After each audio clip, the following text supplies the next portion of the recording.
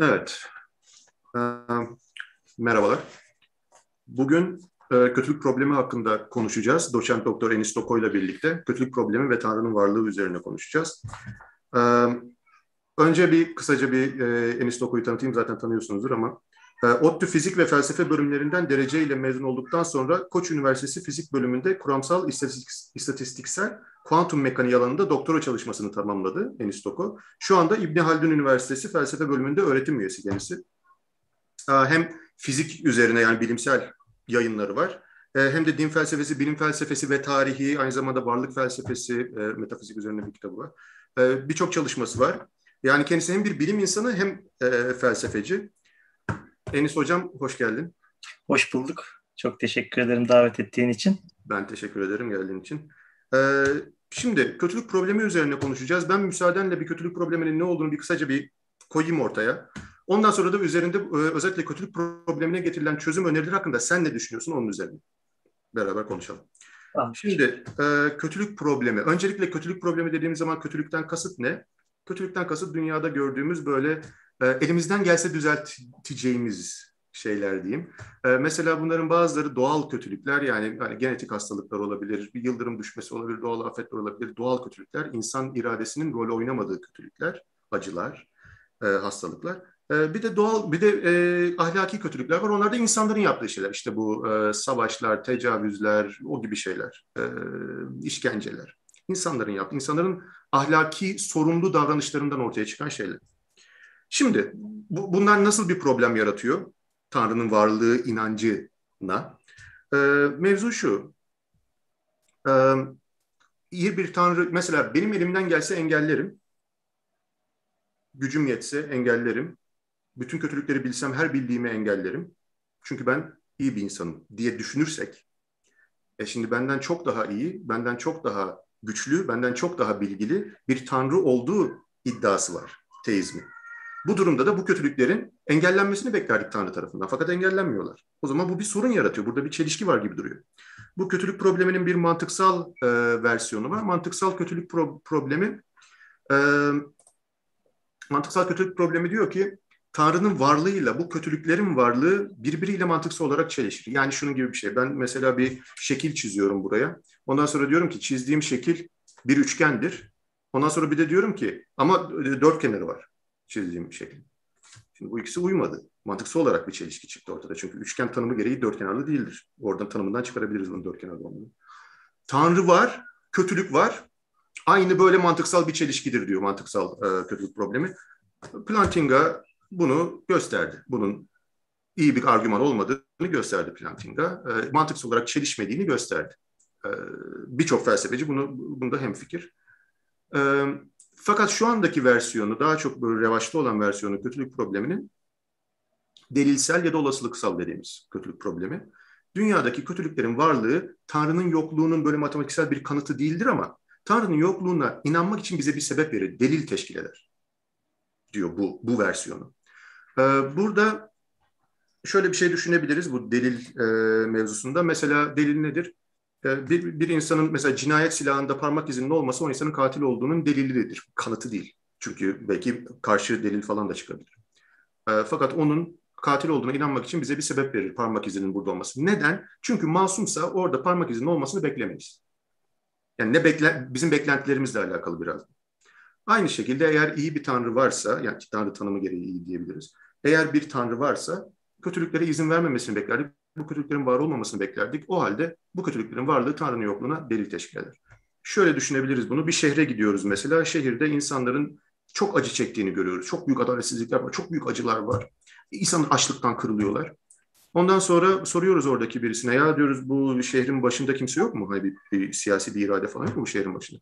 Diyorlar ki var bir kral var bu şehrin başında ve o kral dünyanın en zengin, en güçlü, en bilgili şehirde olanları da her şeyi biliyor ve en merhametli, en iyi insanıdır dünyadaki bu kral. O bize diyoruz ki bir dakika şimdi kral demek insanlar acı çektiğinin farkında. Yani parası gücü de var, serveti de var, yardım da edebilecek pozisyonda. Ama bir dakika şimdi iyi de diyorsun, merhametli de diyorsun, adil de diyorsun. Şimdi bu hiç bu bu, bu bunlar uyuşmadı. Bu insanların bu durumda olması Tanrı'nın senin dediğin gibi bir şey, ya da kralın bu örnekte kralın senin dediğin gibi biri olmadığına dair bir delil teşkil ediyor. Çünkü Tanrı e, e, kral senin dediğin gibi biri olsaydı bunlara izin vermezdi. Bunun aynısının uygulaması Tanrı'ya. Evet. Sanırım böyle özetleyebilirim. Delilsel kötülük problemi. Bir delilsel kötülük problemi üzerinden konuşuruz. Şimdi buna verilen bazı cevaplar var. E, ateistler kötülüğü tanımlayamaz. O yüzden e, bir ateist e, kötülük problemini ortaya konduğunda kötü kelimesi e, kelimesinin tanımını veremez. O yüzden burada bir ateistin ya da bu, bu e, argümanı verenin kendi içinde bir çelişkisi vardır gibi bir görüş var. Şüpheci teizm var, bir de teodistler var. Bunları da açıklayacağız her birinin ne olduğunu. Şimdi istersen şeyden başlayalım mı? Bu ateistler kötülüğü tanımlayamaz. Onu bir aradan çıkartmak için. Başlayalım. Şimdi bazı e, felsefeciler ateistlerin kötülüğü tanımlayamayacağını düşünüyorlar. Bu esasında ahlak argümanını savunan felsefecilerin yaklaşımı. Yani e, daha doğrusu felsefecilerin yaklaşımı değil de popüler literatürde böyle e, kullanılıyor. Çünkü ahlak argümanını savunanların iddia ettiği şey şu. Ateistler ahlak, o nesnel ahlakı tanımlayamazlar. Nesnel ahlakı tanımlayamayacağına göre ateistler nesnel bir kötülüğün varlığından söz edemezler. Ama e, kötülük problemi nesnel bir kötülüğün varlığına dayanıyor. Demek ki ateistler kendi kendiyle çelişen bir argüman ortaya atıyorlar. Hı hı. Esasında tabii ben e, bunun çok iyi bir argüman, çok iyi bir cevap olduğunu düşünmüyorum.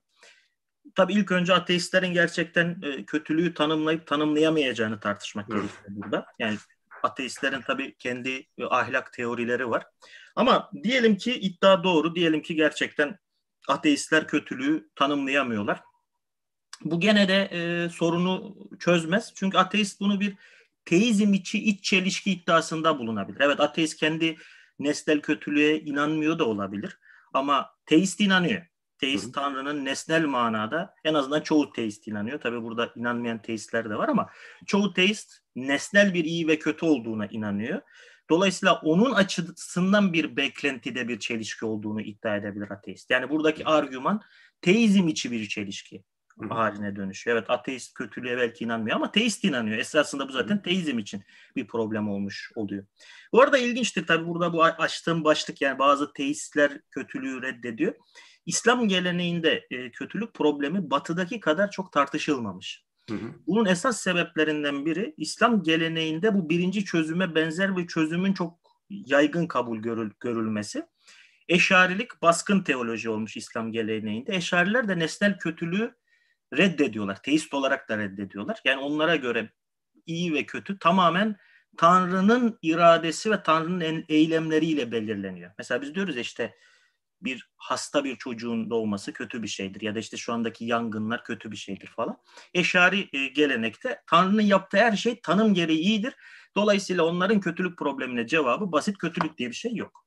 Yani evet. sadece bize kötülük varmış gibi e, görünüyor ama Tanrı ne yaparsa tanım gereği iyidir. Bu anlamda biz e, kötülük problemi teizm içinde bir iç çelişki değildir. Çünkü teizmde de nesnel kötülük yoktur gibi bir yaklaşım var.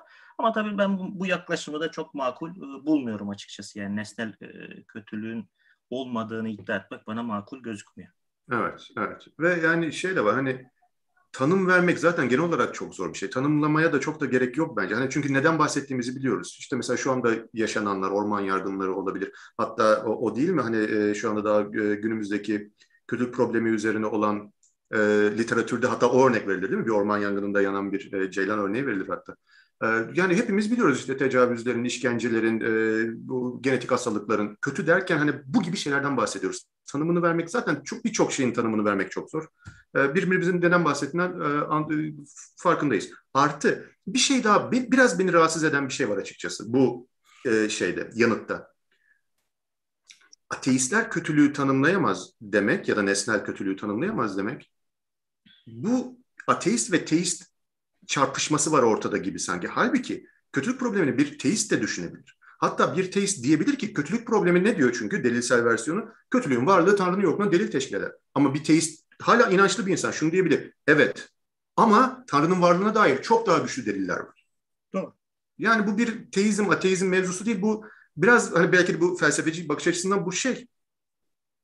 Yani hakikati arayan insanların tartışması gibi görmekte fayda var diye düşünüyorum. Ben bunu hani bir ateistlerle teistler arasındaki bir şeyden ziyade.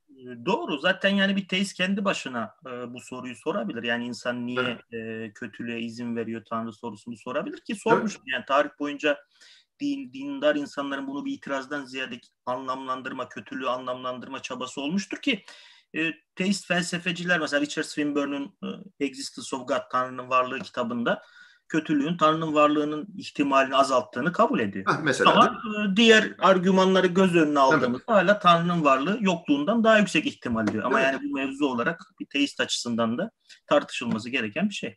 Evet, evet. Yani kümülatife bakmakta tabii ki şey e, faydalı.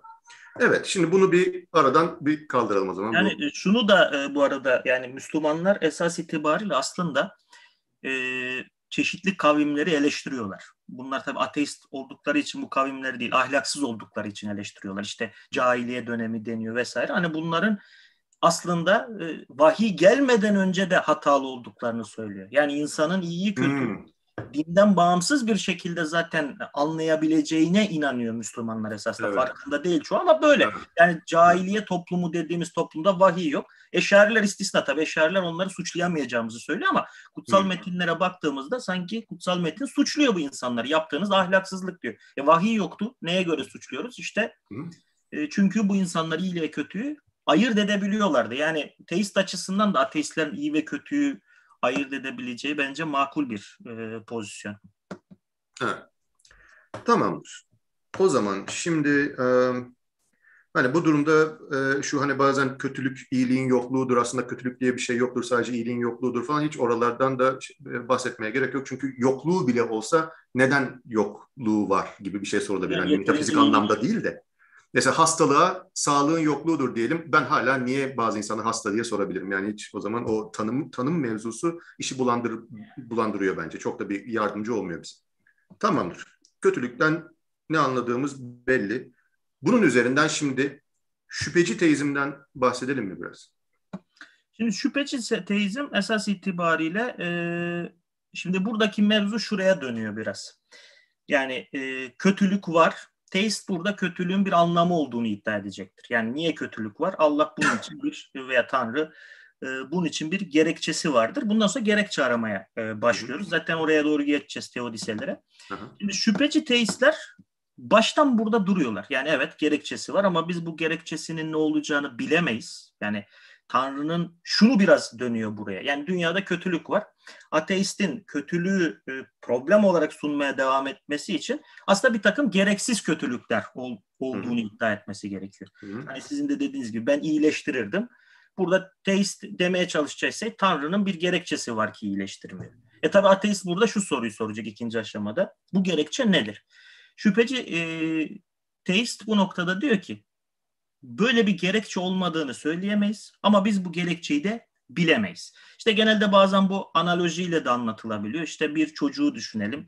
İşte çocuğa e, biz aşı yapıyoruz. Çocuk ağlıyor. Bak bana anne ve babasının hatta kendisine niye böyle bir aşı yaptığını anlayamıyor. Bana niye böyle bir acı çektiriyorlar diyor. Hatta belki işte sizin sorduğunuz soruyu soracak çocuk. Yani ben olsam hiçbir çocuğa bana güç verirse acı şey e, aşı yaptırmayacağım diyecek belki çocuk ama anne ve baba aslında çocuğun iyiliği için bu aşıyı yapıyor. Şimdi benzer bir şekilde biz bu çocuğun durumundayız insanlar skeptik teistlere göre, şüpheci teistlere göre. Bu pozisyondaki varlıklar olarak sonsuz e, kudretli her şeyi bilen bir varlığın kararlarını sorgulayacak pozisyonda değiliz ve bilemeyiz gerekçelerini. Bazen şu şekilde de bu argüman daha teknik sunulabiliyor. Ee, genelde şüpheci teistler nosium e, argüman ismini veriyorlar bu kötülük problemi yaklaşımına. Nedir nosium? Nosium e, bir şey görmüyorum demek esasında. Görmüyorum öyleyse yoktur. Mesela bu bir nosium argümandır. Ben e, buzdolabını iyice aradım, içeride kola bulamadım. Demek ki buzdolabında kola yoktur. Hı hı. Şimdi kötülük bir kötülük düşünüyorum. Ben işte Ceylan'ın yanması gibi veya işte yangınların şimdi Türkiye'de çıkması gibi. Tanrı'nın bunu yapması için iyi bir gerekçe göremiyorum diyorum. Demek ki iyi bir gerekçesi yok. Demek ki bu Tanrı'nın varlığı ihtimalini düşürüyor diyorum. Şimdi bu nosium argümanı. Şimdi nosium argümanları bazen kötüdür. E, yani başarılı argümanlar değildir. Mesela nedir kötü bir nosyum argümanı? Diyelim ki ben işte bir e, cikletim yere düştü. Aldım yerden. Ha, baktım dedim ha hiç bakteri görmüyorum ciklette. Demek ki bakteri yok. Bu kötü bir argüman. Niye? Çünkü baksam da zaten e, göremem. Şimdi buradaki esas soru şu. E, Tanrı'nın biz kötülüklerin nedenini göremiyor oluşumuz. Hı Nosyum argüman ama hangisine benziyor? Evet. Buzdolabında kor kolayı bulamamaya mı benziyor? Yoksa düşen cikletin üstünde bakteri bulamamaya mı benziyor? Şüpheci teistler diyor ki bakteri bulamamaya benziyor. Evet. Dolayısıyla biz Tanrı'nın e, niyetlerini e, ve onun bilgeliğini kavrayamayacağımız için kötülüklerin nedeni yok. Bu kötülüklerin açıklaması yok diyemeyiz. Bilmesek bile bu açıklamayı diyemeyeceğimiz için de kötülük problemini ortaya atamayız. Bunu ileriye evet. süremeyiz gibi bir yaklaşım sergiliyorlar e, şüpheci teistler. Evet yani delil bile teşkil etmiyor o yüzden. Yani benim bakteri göremiyor olmam bakteri olmadığına delil teşkil etmediği gibi e, bu da teşkil etmiyor. Yani ben, ben bir ara bu şüpheci teizm bana bayağı makul gelmişti açıkçası. Bir kötülük problemine bir e, yanıt olarak bayağı makul gelmişti. Çünkü sordukları soru şu. E, yani sen Tanrı'nın bu kötülüklere izin vermek için iyi bir sebebi olsaydı diyelim ki sen bunu bulabilecek pozisyonda mıydın? Sen bunu görebilir miydin? Sen bunu bulabilir miydin düşünerek? Bunu evet ben bulabilirdim. Yani bu 13.8 e, milyar yıllık kainatı yaratmış olan milyarlarca milyarlarca yıldızlardan oluşan milyarlarca milyarlarca galaksileri, yüz milyarlarca galaksileri yaratmış olan işte e, zaman ve mekandan münezzeh birçok kişiye göre böyle bir e, Tanrı'nın gözünden görüp onun sebeplerini neyi neden yaptığını ben anlayabilirdim diyemez bir insan. O zaman da diyorlar ki şüpheci teistler evet o zaman sen e, senin bunu bulamıyor olman şey olmaz. Aynı mesela ben geri kas ben çok az satranç gerçekten de biliyorum bu arada hani şeyleri biliyorum. O taşların nasıl oynadığını falan biliyorum. Hiç beceremem satrancı. Kafam yoruluyor yani onu yaparken. Diyelim ki ben Geri Gasparov'u izliyorum. Adam yapıyor bir şeyler. Ondan sonra bir yerde dedi diyelim ki verdi vezirini. Ondan sonra ben desem ki ya bu yok hiç beceremiyor bu Geri Kasparov bu satranç işini. Ee, ondan sonra birisi bana çok anlaşılır bir şekilde diyebilir ki ya diyelim ki Geri Kasparov'un burada bir sebebi var. O vezirini şey yapmakta, feda etmekte. Sen bunu görebilir miydin böyle bir sebebi olsa, olduğunu varsayarsak? Hayır onu görebilecek bir pozisyonda değilim. O halde benim onu görememem öyle bir sebebi olmadığını göstermiyor. O yüzden de onun e, vezirini orada feda etmesi onun kötü bir oyuncu olduğuna delil teşkil etmez benim gözümde. Evet bence bu, bu makul geliyor bana. Bir itirazım var yalnız ondan bahsedeceğim. Sen ne düşünüyorsun peki bu bunun hakkında? Ya şimdi burada tabii çok e, ilginç bir probleme götürüyor şüpheci teizm. E, bir kere sanki ne olursa olsun, ne kadar olursa olsun bizim Tanrı'nın iyiliği veya kötülüğüyle ilgili yorum yapamayacakmışız gibi bir pozisyona götürüyor bizi. Ee, yani bu da bana şey geliyor, bu da bana çok makul gelmiyor açıkçası. Aynen. Yani burada iyi bir tanrıyla mı karşı karşıyayız, kötü bir tanrıyla mı karşı karşıyayız? Bunu evet. bilemeyiz gibi bir konuma bizi düşürüyor. Yani diyelim ki tamamen iyi birini e, tanrı şeye cehenneme gö- soktu. Şimdi Aha. mesela bu stratejiyi kullanabilir miyiz? Kullanabiliriz gibi geliyor bana. Evet. Ama burada bir sorun var. Yani ne kadar kötülük olduğu zaman biz artık Tanrı'ya iyi, iyi diyemeyeceğiz. Şüpheci teist sanki bununla ilgili bir kriter vermiyor. Ne olursa olsun evet. biz bir şey diyemeyiz demeye çalışıyor. Ee, bu da bana artık Tanrı'nın iyiliğiyle ilgili biz nasıl konuşabiliriz hiç konuşamayız gibi geliyor. Ha, Ama bu evet. da iyi mi kötü mü Tanrı yorum yapamayacağımız bir Tanrı'ya da inanmaya değer olduğunu söyleyemeyiz gibi geliyor. Evet, evet. Bu sen de o zaman şeye katana bu e, şüpheciliğinin böyle sirayet etmesinden bahsediyorlar. Bulaşıcı olmasından şüpheciliğinin. Hani orada da Tanrı'nın e, iyiliği konusunda bir şüpheciliğe de e, Aynen öyle. geçebilir. Anladım. Temel şeyim bu yani e, şüpheci teizme karşı. Benim e, temel gördüğüm sorun bu. E, işte bazıları Nosium argümanına da benzemediğini düşünüyorlar bunun. Mesela özellikle hmm. William Rowe'un e, burada şeyi ilginç. O diyor ki bırak e, bazı öyle kötülükler var diyor ki bırak bunların e, gerekçelerini görememeyi tahayyül bile edemiyorum diyor. Hmm. Hmm, hmm. Tahayyül bile edemiyorsam ben bu gerekçelerini e, nasıl böyle gerekçeler olduğundan söz edebiliriz gibi bir itirazda bulunuyor. Ona göre tam nosyum gibi değil. Yani sadece bakmak değil. Burada biz bakmanın ötesinde bir şey kötülük problemi. Çünkü tahayyül de etmeye çalışıyoruz. Hmm. E, böyle bir tahayyül bile e, edemiyorum bazı kötülükler. İşte diyelim ki yeni doğmuş bir e, çocuk e, tecavüz ediliyor. Ondan sonra çocuk işkenceyle parçalanıyor. Yani burada ben bir gerekçe göremiyorum diyor William Rowe. E, şimdi ben burada gerekçe gör, yani görememenin ötesinde tahayyül de edemiyorum. Yani evet, ne gibi bir şey olabilirdi yani? Ne bir şey olabilir. Ne kadar düşünce yaparsam yapayım evet. bulamıyorum diye. Ama tabii bu gene e, skeptikleri çok ikna edecek bir itiraz değil gibi geliyor bana. Evet. Yani bize makul gelebilir sezgisel olarak ama bir skeptik bunu sadece aynı yerde dönme dolanma olarak görecektir. Doğru tekrardan onu uygulayabilirler. Ee, o anne çocuk e, şeyini e, analizini. Evet. Bir şey daha var sanki bu özellikle e, bir dine inanan insanlar için bu şüpheci teizm sanki çünkü Tanrı'nın artık Tanrı hakkında hiçbir beklentisi olamıyor bir insan. Senin dediğin gibi çünkü iyilik iyilikten kastımızın ne olduğu belli değil artık bir aşamadan sonra. O zaman şu da olabilir. O zaman Tanrı gönderdiği kutsal kitapta yalan da söyleyebilir ya da yanlışlara da yer verebilir. Çünkü hani hiçbir beklentimiz yok artık Tanrı hakkında. Yani o zaman şeyin altı oyuldu. E, vahyin güvenilirliğinin altı oyuldu. Yani dindar insanlar için büyük bir problem yaratacağını düşünüyorum ben e, şüpheci. Bu Yani bu zaten bu arada bunun benzeri bu şüpheci teizmin benzeri demin e, dediğim şekilde eşarilik tarafından savunulmuş. Hı hı. E, Mutezile'nin getirdiği itirazlar da buna benzer. Yani Mutezile burada aynı bunu söylüyor. Mesela diyelim ki Tanrı yalan söylüyor. Hı hı. E, yalan söylemenin iyi olduğuna karar verdi ve yalan hı söylüyor. E, o zaman mesela belki kutsal kitaptan şüphe etmemiz gerekiyor. Belki evet. e, inanmayanlar ve işte genel olarak günah işleyenler cennete gidecek. Buna cevap vermekte tabii eşariler ciddi zorlanmış. Yani şüpheci teizm. Evet. Bu biraz şüpheci teizmin ilginçtir. Kur'an'da da izleri var e, melekler insanla evet. ilgili e, yaratılmışından söz ederken işte insanla ilgili kan dökecek e, bir varlık yaratıyorsun diyor. E, Tanrı da ben sizin bilmediğinizi bilirim diyor. O yüzden şüpheci teizm daha batıda çıkmadan ilginç bir şekilde İslam evet. geleneğinde bir karşılığı var. Evet, evet. evet.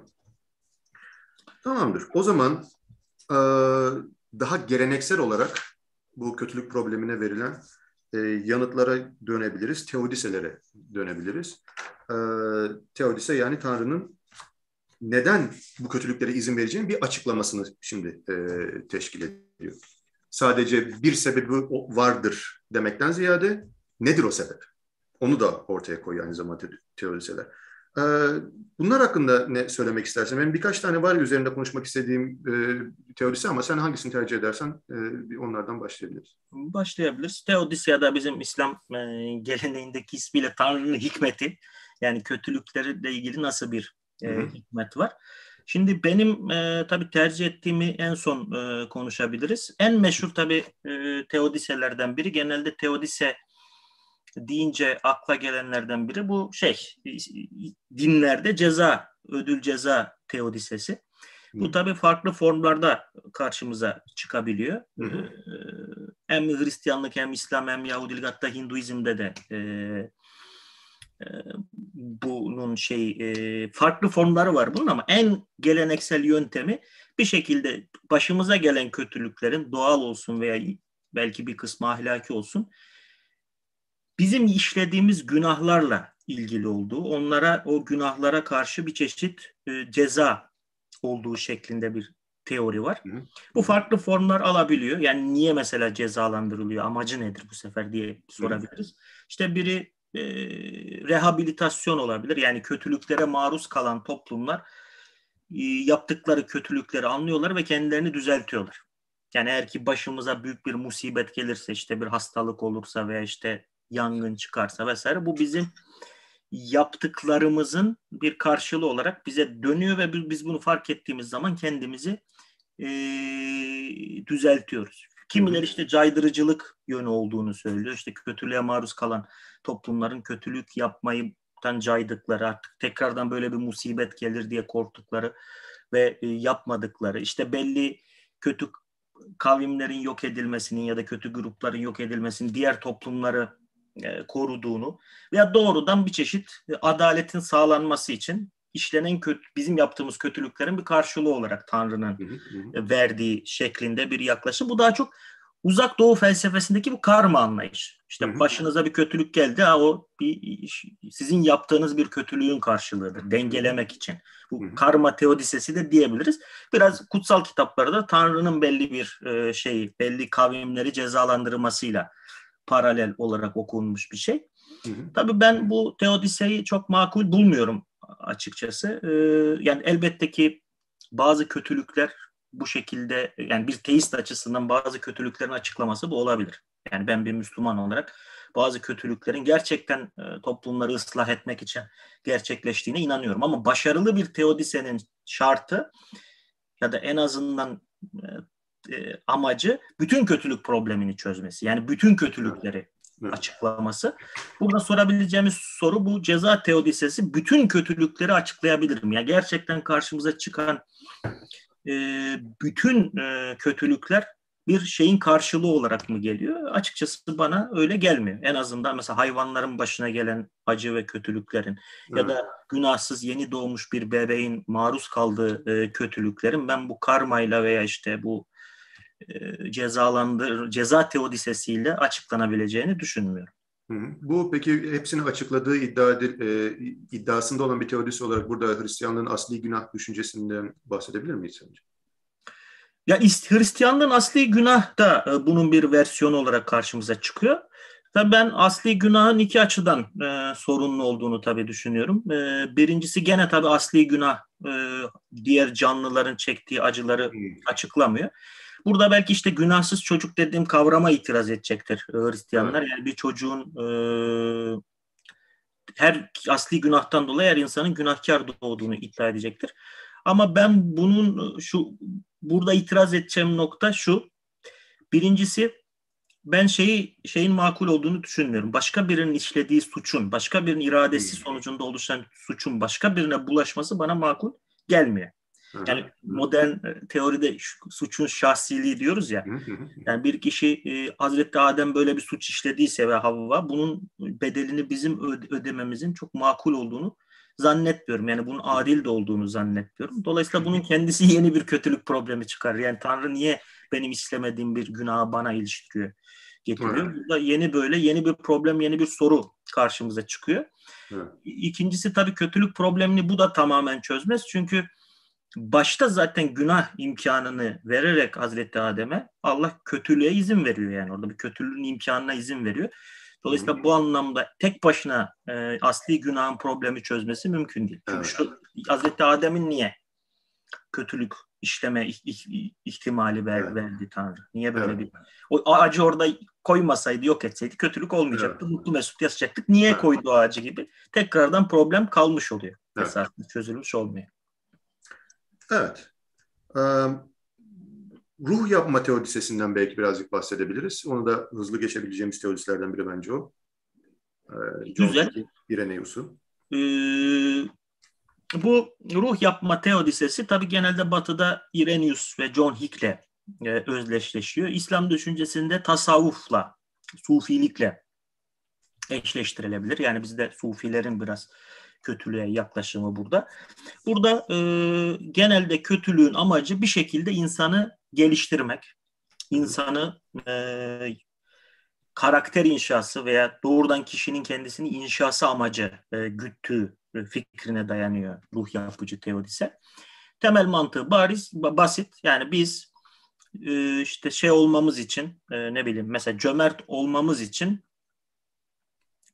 işte e, şey de olabiliyor olmamız lazım. Veya işte atıyorum iyilik yapabilmemiz için kötülüğün olması gerekiyor. İşte cesur olabilmemiz için ölme ihtimalimiz ya da yaralanma ihtimalimiz olması gerekiyor. Bir evrende yaralanma ihtimali yoksa, ölme ihtimali yoksa, hiç acıyla karşı karşıya gelme ihtimali yoksa bir kişinin cesur olmasından söz edemeyiz. Cesaret hani bir risk almayı gerektiriyor. Dolayısıyla bizim iyi bir insan yapacak ya da erdemli bir insan yapacak özelliklere kavuşabilmemiz için ki bu işte İslam düşüncesinde Tanrı'nın ya layık kul olma denebilir. Tanrı'ya layık kul olabilmemiz için belli bir aşamalardan geçmemiz gerekiyor ve bu aşamalar içerisinde de kötülük olması gerekiyor. Çünkü kötülükle maruz kalan insanlar daha gelişmiş oluyorlar. Daha iyi dindar oluyorlar. Daha işte ne bileyim cesur oluyorlar.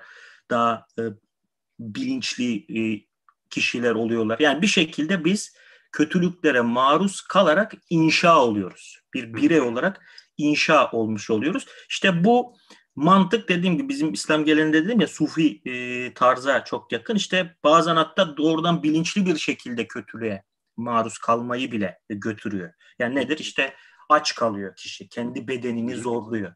İşte kendini bir yere soğuk soğuğa maruz bırakıyor mesela.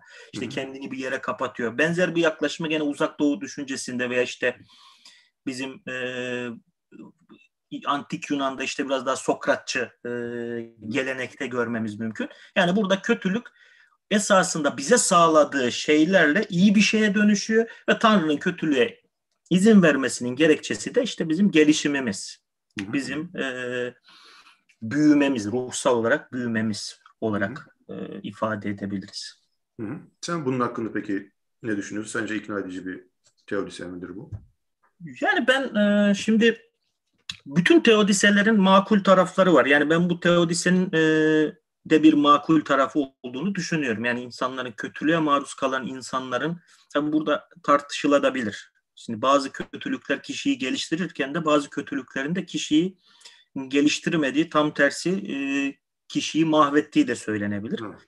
Bu yüzden gene burada şeye pay bırakmakla beraber e, yani nasıl ki ceza teodisesinde haklı bir taraf yani bir Müslüman açısından haklı bir taraf var e, dediğim, dediğim gibi burada da bence bir haklı taraf var. Ama gene esas soru bu bütün kötülükleri açıklayabilir mi? Ben bütün kötülükleri açıklayabileceğini düşünmüyorum.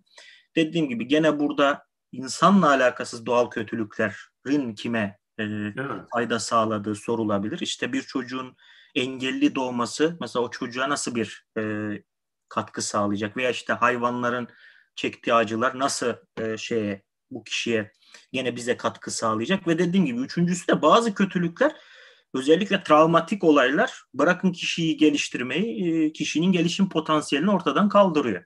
Yani bir Hı. işte bir kız küçük yaşta tecavüze uğruyorsa belki bütün hayatı travmatik ve kötü geçecek. Hiçbir zamanda e, iyileşemeyecek. Şimdi buradaki kötülüğün bu kızı geliştirmek için olduğunu söylemek bana çok makul gelmiyor. Dolayısıyla bu teodise evet kötülük gerçekten insanı kısmen geliştiriyor olabilir. Bazı kötülüklerin böyle bir açıklayıcı yönü olabilmekle beraber ben bunun bütün kötülük problemini özelde de doğal kötülüklerle ilgili problemleri e, çözebileceğini zannetmiyorum. Evet. Yani burada bir de şey de var. Hani bazı insanların çektikleri acıların başka insanları geliştirmek için kullanılması e, durumu o da biraz adaletsizce geliyor. Yani o insanların böyle büyük acılar çekmesi. Onlar o kadar büyük acılar çeksin ki benim de yardım fırsatım da olsun gibi. Hani ki ben de böyle cömertliğim ya da işte yardımseverliğim o gibi erdemlerin gerisi. Yani o birazcık adaletsizce e, de geliyor. Artı şöyle bir şey de düşünülebilir bu teorisi için. Yani birçok insan var. Küçücük bir yerde doğmuş, tarihe de bakarsak özellikle böyle orta çağda bir köyde yaşamış adam mesela. Yani hiçbir kötülükle öyle büyük ne tecavüzler, ne savaşlar, ne işkenceler hiçbir şeyde görmemiş. Sabah kalkmış, yapmış e, tarımını, dönmüş evine, yaşamış hayatını, ölmüş. Şimdi şimdi o insanın kendini geliştirmek için fırsatları olmadı mı? O, olabilir. Yani söz verdi, sözünde durmak, durmamak, o, o kararlar. İşte ne bileyim e, yani birilerine yemeğinden vermek ya da vermemek gibi şeyler. Yani bu gibi bir e, gelişim, e, böyle bir karakter gelişimi için ne kadar, en az ne kadar kötülük gerekiyorsa o kadarını beklerdik o zaman bence. Ve burada çok daha fazlası var şu anda. Çünkü birçok insan bu ki bu kadar kötülüğe e, şey olmadılar, maruz kalmadılar. O zaman da sorun şey oluyor. O zaman onlara mı haksızlık? Yani ki çünkü ellerinde el, o çünkü onlara kendilerini geliştirme fırsatı verilmedi eğer bu teodise makulse. Hani o yüzden bence bu teodise katılıyorum. Yani e, çok e, çok başarılı değil. E, bence bir, bir, bir açılardan olabilir ama bayağı bana minimal geliyor e, o, bu teodisenin. E, başka hakkında konuşmak istediğim bir teodise var mı? Ben mesela imtihan hakkında konuş en e, çok bilinen teorisilerden biri. Başka biri başka bir teorisi varsa aklında ondan da konuşabiliriz. İmtihan teodisesi de tabii e, şey bir teodise. E, gene İbrahimi dinlere biraz yani Hristiyanlık, Yahudilik ve İslam'a. Daha çok tabii İslam'a biraz çünkü imtihan kavramı tabii İslam'a özgü bir kavram ama benzeri o diğer e, yerlerde de karşımıza çıkıyor. Buradaki temel mantık biraz özgür irade teodisesine benziyor imtihan teodisesi. Yani kötülük ve iyilik biz insanlara e, özgürce Tanrı'yı seçme. Evet. Yani Allah bizim e, bizi e, cennetine koyacak. İşte e, bizi bunun için esasında birincil öncül olarak yaratıyor. Yani onun kulu yapacak. Hı. Ama bunu hak etmemiz gerekiyor. Adaletin sağlanması için bir, bir miktarda bunu hak etmemiz gerekiyor. Bunu hak etmemiz için de bir sınavdan geçmemiz gerekiyor. O yüzden bu yaşadığımız hayat bunun bu sınav ve aslında temel iddia yani bütün şeye resme baktığımız zaman sonsuza kadar yaşayacak insanlar yaşadığımız dünya işte 100 yıllık civarında. Yani çoğu insan 100 yılı da ulaşamıyor. 100 yıllık bir ömür burada kötülüğe maruz kalıyoruz ama öbür dünyaya gittiğimiz zaman da bu kötülük kısmı bitecek. Tabi burada cehennem meselesi var. Yani kötülüğün orada devam etmesi meselesi var ama ona şimdilik e, onu e, bırakalım. Hı hı. Şimdi burada kötülük insanların yaptığı ahlaki kötülük biraz bizim sınavımızın bir parçası oluyor. Tanrı bize e, özgür irade veriyor imtihana tabi tutulabilmemiz için ve biz iyi ve kötü olanı seçebiliyoruz. Tabi burada şöyle önemli bir soru karşı karşıya geliyor imtihan teorisinde. Evet şey kötülüğünü anlayabiliyoruz. İşte ahlaki kötülükleri anlayabiliyoruz. Çünkü bunlar insanın iradesinin yaptıklarının bir sonucu. Tanrı da imtihan amacılığıyla bunu yapmamıza izin veriyor. Tabi burada ikinci soru, e peki doğal kötülükler niye var? Yani bunların e, bizim eylemlerimizle doğrudan bir ilişkisi yok. Tabi burada ikinci bir teodiseye geçilebilir veya doğrudan şöyle bir şey e, denebilir. Bunlar da bizim imtihanın adil olması için yapılan kötülükler. Ne demek imtihanın adil olması? E, cennet cehennem opsiyonu var. Bizim bu dünyadan hem cenneti hem cehennemi e, tahayyül edebiliyor olmamız gerekiyor. Onu e, öngörebiliyor olmamız lazım. Cehennemin nasıl bir şey olduğunu bilmemiz için de her insanın istisnasız kötülüğe maruz kalması, acıya maruz kalması gerekiyor. O yüzden işte ihtiyarlık ve işte çeşitli felaketler gibi e, doğal kötülüklerle karşı karşıya da kalıyoruz ki bunlar bize cehennemle ilgili bilgi veriyor. İşte dünyada da iyi bir takım yani besin işte ne bileyim e, gibi işte e, müzik gibi bir takım güzelliklerle de cenneti bir taraftan tahayyül ediyoruz. Yani bunlar ikisini tanımamız için cennet cehennemi tanımamız için kötülük Hı-hı. ve işte bir takım iyilikler var. Bu Hı-hı. imtihan teodisesi dediğim gibi bu ilk kısmı biraz özgür irade teodisesine benziyor. Özgür irade teodisesi de benzer bir şey söylüyor. Özgür irade iyi bir şeydir, üst bir şeydir. Dolayısıyla e, doğal kötülükler insanlar özgür iradeleri olsun diye var. Tanrı erkek doğal kötülüklere şey pardon e, ahlaki kötülükler bunun için var. Ahlaki kötülüklere izin vermeseydi insanlar e, özgür ol, olamayacaktı. Tabi bu, özgür irade teodisesi sadece e, ahlaki kötülükleri çözen bir e, teodise. Doğal kötülükleri çözmüyor genellikle. O yüzden ayrı bir teodise burada bulmak gerekiyor. İşte bu belki cennet cehennemi tanımı olabilir. Bir başka yaygın çok meşhur e, bu imtihan teodisesini tamamlayacak veya özgür irade teodisesini tamamlayacak bir başka yaklaşım doğa yasaları teodisesi. Doğa yasaları teodisesi şöyle yaklaş, şöyle e, bakıyor olaylara. Evet, e, doğal, doğal şey ahlaki kötülükler insan özgür iradesinin bir sonucu veya işte imtihanın bir sonucu. Gene imtihan özgür iradeyle ilgili. Peki doğal e, kötülükler niye var? Bizim eylemlerimizin anlamlı olabilmesi için bir de öngörülebilir olmaları lazım. Yani ben mesela bir kişiye yardım ediyorum diyelim ki su veriyorum. O suyun o kişiye iyi geleceğini bilmem lazım. Hı hı. Eğer zehirleme ihtimali varsa yüzde elli elli ise yani ben yardım edemem. Böyle belirsiz bir dünyada, düzenliklerin olmadığı bir dünyada ben imtihan edilemem veya özgür irademin bir anlamı olamaz. İradenin anlamlı olabilmesi için kişinin eylemlerini öngörebiliyor olması lazım. Veya imtihanın anlamlı olması için kişinin eylemlerini öngörebiliyor olması lazım. E bu nasıl olabilir? Doğa yasaları varsa, nedensellik veya varsa, işte nedensellik veya doğa yasaları diyebiliriz tercihimize göre bir düzenlilikler varsa evrende. Şimdi dolayısıyla Tanrı düzenlilikler koymak zorunda diyor bu görüşü e, savunanlar imtihanın veya iradenin anlamlı olabilmesi için. E düzenlilikler de ister istemez yani doğa yasaları da ister istemez bazen bu yasaların olumsuz şeylere neden olmasına e, yani kötülüklere neden olmasına yol açıyor. İşte ateş yararlı bir şey öngörebiliyoruz yemek pişirebiliyoruz orada işte ne bileyim ısınabiliyoruz insanları ısıtabiliyoruz ama ateşin bu yakıcı özelliği insanı yakabiliyor. İşte ormanı da yakabiliyor. Bu düzenlilik, ateşin yakma düzenliliğinin kaçınılmaz bir sonucu evet. orman yangınları veya insanın yanması. Dolayısıyla buradaki temel iddia Tanrı düzenlilikleri bozmadan yani düzensiz bir evren yaratmadan kötülükleri, doğal kötülükleri ortadan kaldıramaz diyor. Düzensizlik yaratırsa da ya imtihana ya da insan özgür iradesine zarar verecektir diyor. E, bu da gene İslam geleneğinde de Batı'da da bulmak mümkün. Batı'da popüler bir görüştü bir aralar özellikle işte bu e, bilimin ilerlemesinden sonra. İslam düşüncesinde biraz mutezile içerisinde savunulmuş bir e, görüş bu. E, böyle. Evet. Buna getirilen bazı itirazlar var imtihan teodisesine getirilen bazı itirazlar var. Önce birini sorayım ondan sonra benim daha e, güçlü bulduğum birkaç itirazdan bahsedeceğim ama böyle genelde söylenen şeylerden bir tanesi şudur. Tanrı her şeyi biliyor değil mi? Alimi mutlak. O zaman niye sınav yapsın, niye imtihan yapsın diye bir e, soru sorulur. Bunu bir kısaca cevaplayalım istersen. Şimdi farklı yaklaşımlar e, sergilenebilir burada.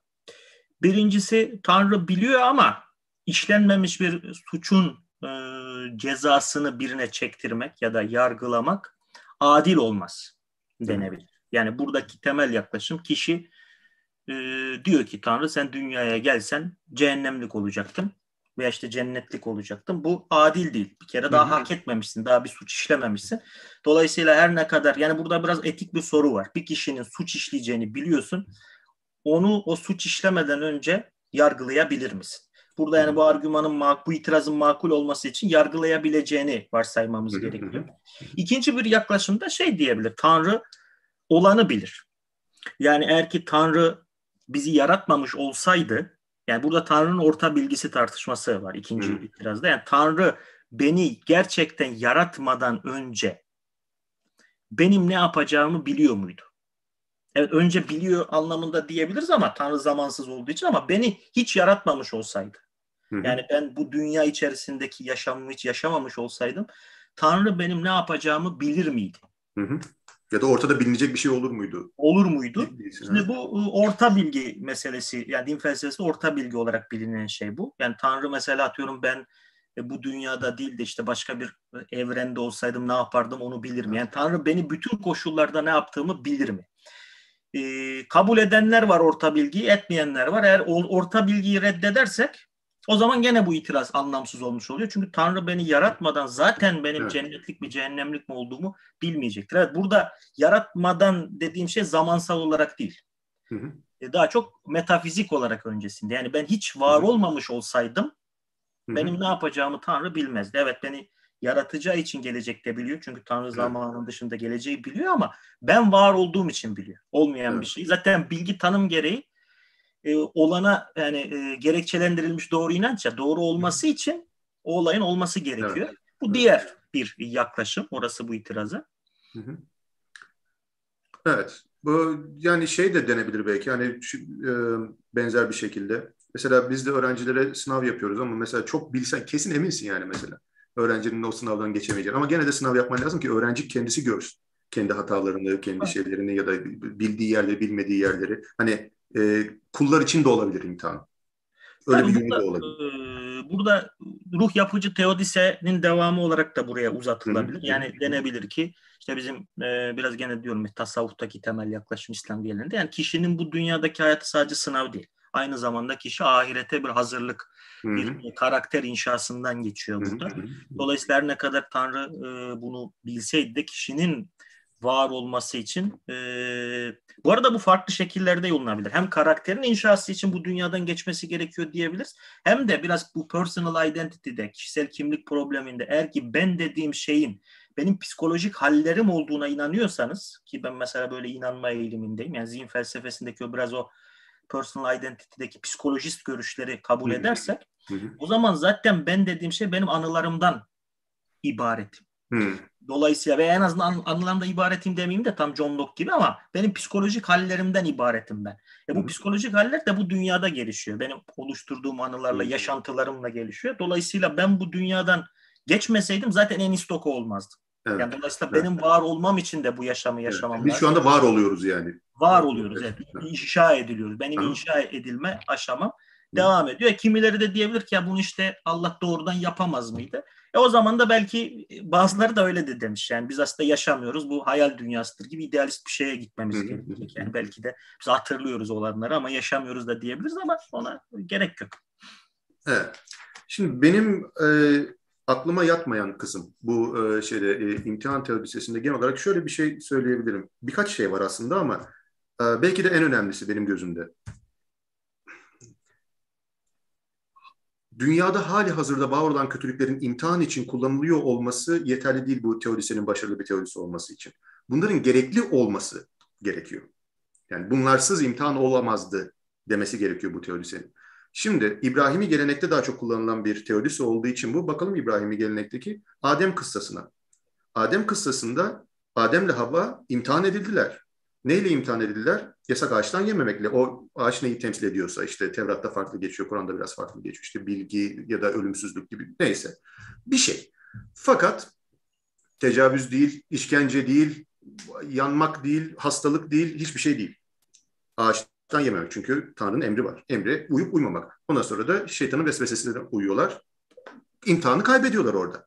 Ona sürçme deniyor hani günah de, de yakıştırılmıyor ama hani sür, sürçüyorlar sonuçta şey yapıyorlar yani. Ee, hem de çok çok çok çok büyük bir imtihan. Ondan sonra cennetten çıkarılıyorlar. Yani çok da önemli bir imtihan. Özgür iradeleri var, şey var. Şimdi demek ki imtihanın var ol, olabilmesi için gerekli hem de çok ciddi bir imtihanın var olabilmesi için tek gerekli şey Tanrı'nın bir emrinin olması, senin özgür iradenin olması. Hani vesvese falan belki onu da katarız işin içine. Böyle kandıracak bir şeyler. Ondan sonra ama sen bakalım uyuyacak mısın, uyumayacak mısın? Hatta e, şey de var orada bir de e, Tanrı'nın varlığından yüzde yüz emin olma gibi bir duruma rağmen hatta e, bir de şey var. E, direkt kelimeler öğretmesi, isimler öğretmesine rağmen. Bu yüzden bu benim bu kısım bana önemli geliyor. Yani hiç bunlara gerek yoktu. Tanrı'nın elinde kıssa kitapta yazıyor. Bana öyle geliyor.